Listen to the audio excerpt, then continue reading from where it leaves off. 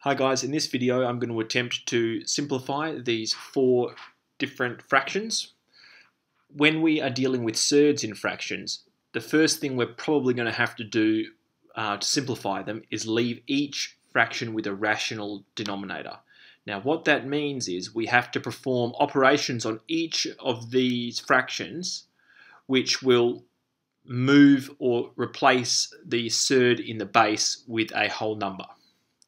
So this, uh, we're going to be using a, a few different surd laws, which I will identify as I'm using them in each of the cases. Um, but if you uh, are aware of certain index laws, um, these won't come as much of a surprise. They're quite intuitive.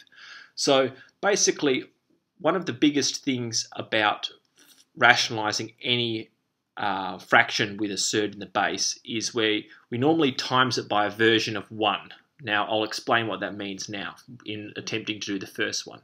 So, 2 square root 6 over 3. What we're going to do to start with is we are going to multiply the square root 6 over 3, square root 3,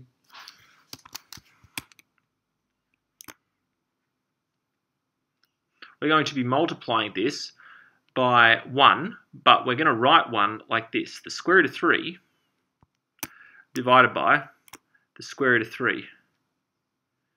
Now this is a very clever mathematical operation because we're essentially multiplying something by 1. But this type of 1, if when we multiply it, is going to change the base to a rational number. So what we can do here is when we multiply, we're going to get square root of 3 times the square root of 3 is just 3. So we're going to end up with 3 in the base. And that comes from the third law. If we have the square root of a multiplied by the square root of a, that just equals a.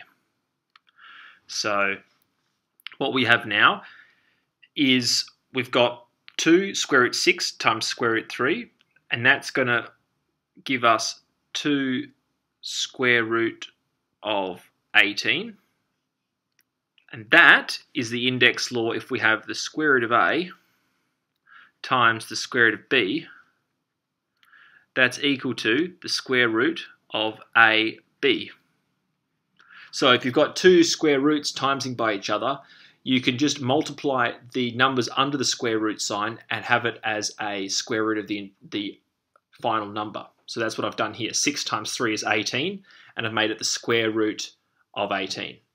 Okay, so we can further simplify this. Now got a, we've rationalized it, but we can further simplify this by basically taking this 18, square root of 18, backwards using this surd law here. So what we're going to do is I'm going to rewrite 18 as the product of two numbers. And the way I'm going to do that is I'm going to go, well, this is going to be equal to 2 times the square root of 9 times the square root of 2. So essentially, I've just gone backwards with this law here. And that is still all over 3. So this, we can compute the square root of 9 because we know that that is 3. So this is going to be 2 times 3, which is equal to 6, square root 2, all divided by 3. And I can now simplify the co coefficients. So 6 over 3 is the same as 2 over 1. So I can just write this finally as 2 square root 2. So that's the first one done. Cool. So let's change colour and go to the second one.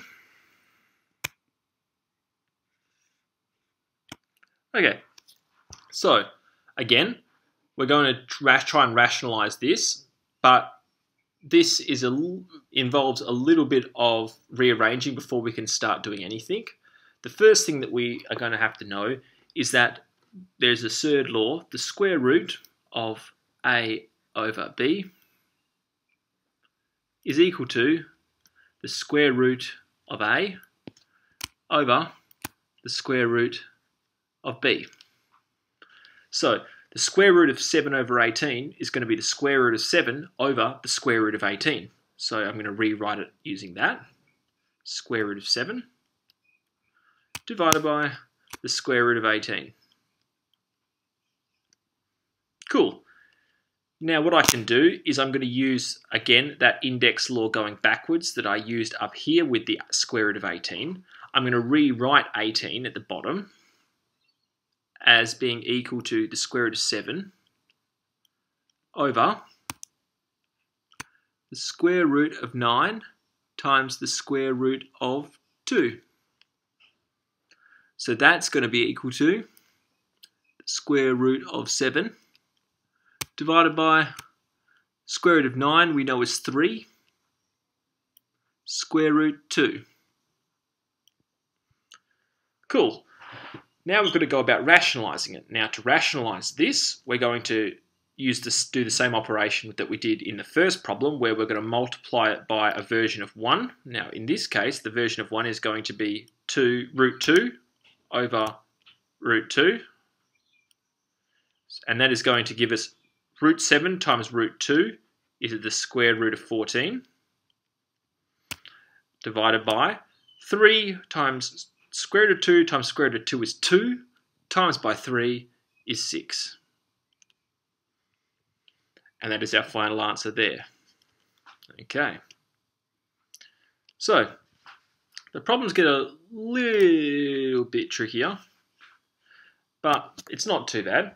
So, what we're going to do in this case, in this one, we're going to just, we can start by just uh, multiplying this by our version of 1. So what we're going to do is we're going to have 5 minus 8 square root 2 divided by the square root of 3.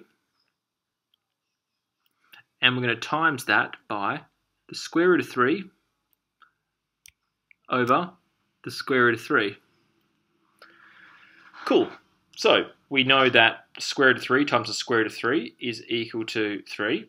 So let's just put it big long line. And the way we're going to solve the top is we're going to have the square root of 3 in a, outside of a bracket, and then we're going to have 5 minus 8 square root 2. Cool.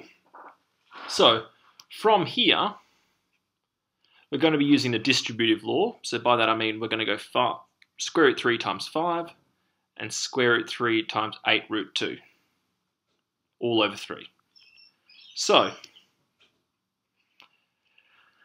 square root 3 times 5 is equal to 5 times the square root of 3 minus the square root of 3 times the square root of 8 root 2 is 8 root 6.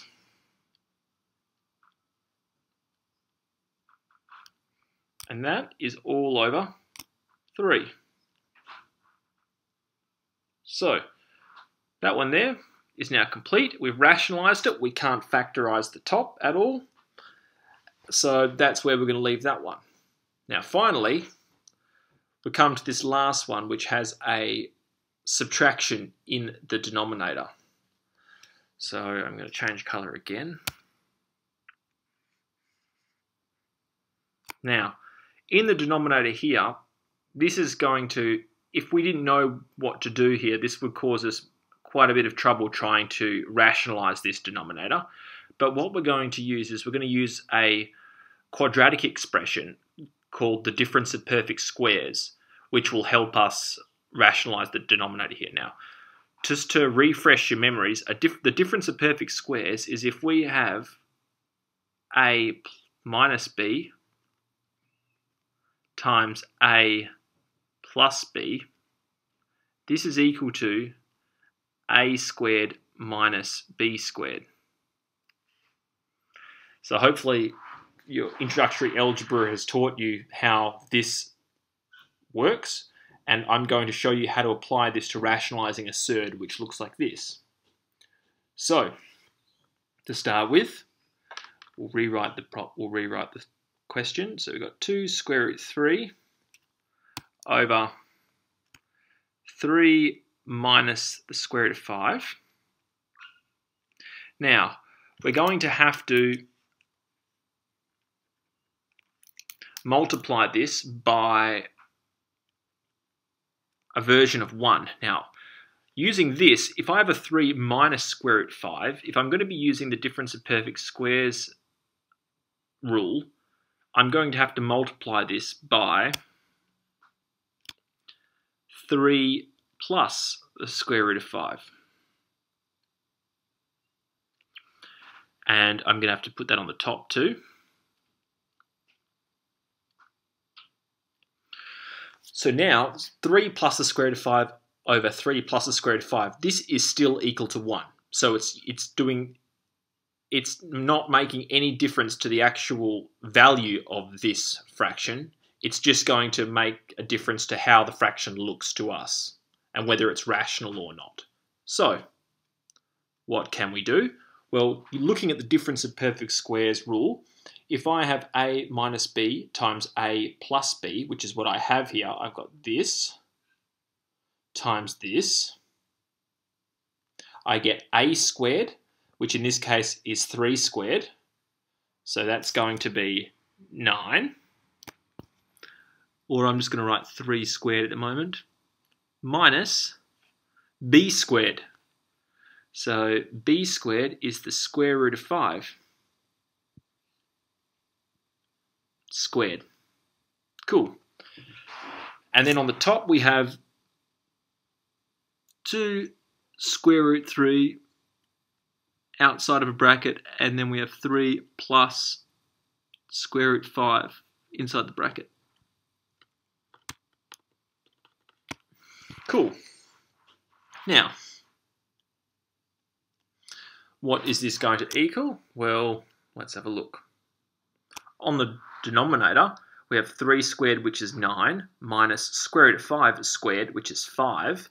So the denominator is 9 minus 5, which is just 4. That looks fairly rational to me, which is good. Good start.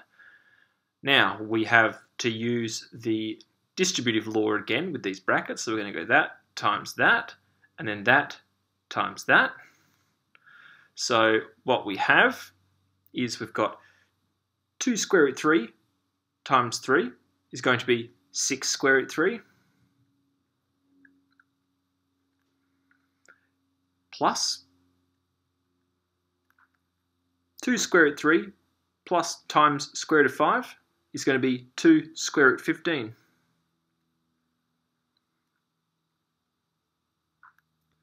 Cool. So we're not done yet because we can factorize the numerator and by 2.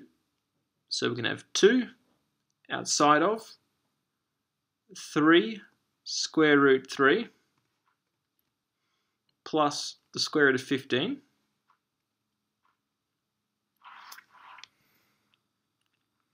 all divided by 4. Then what we can do is we can simplify the coefficients here. So that's going to cancel out and give us a 1. That's going to cancel out and give us a 2.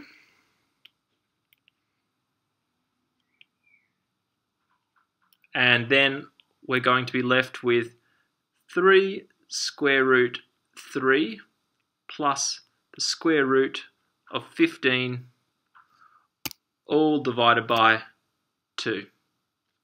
So this last one is a little bit more tricky, but if you understand that you can use the difference of perfect squares rule, which we usually apply to quadratic functions, if you apply that to the denominator here, when you are multiplying your function by 1, you'll find that you, in every case of these style of ones, you will end up getting rid of the surd in the base.